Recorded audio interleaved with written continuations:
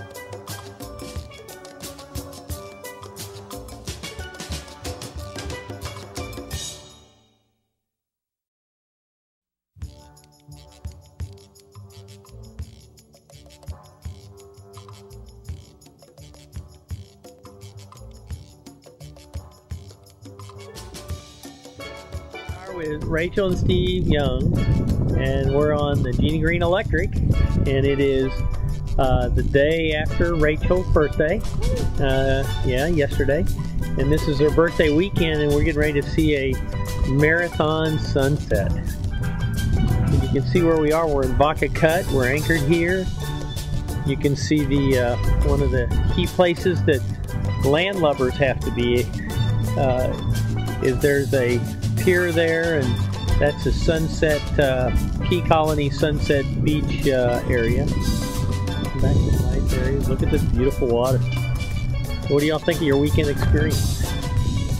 Pretty good so far. Hit it? Good. What have you learned? Anything new or different? A lot of things? A lot? Good.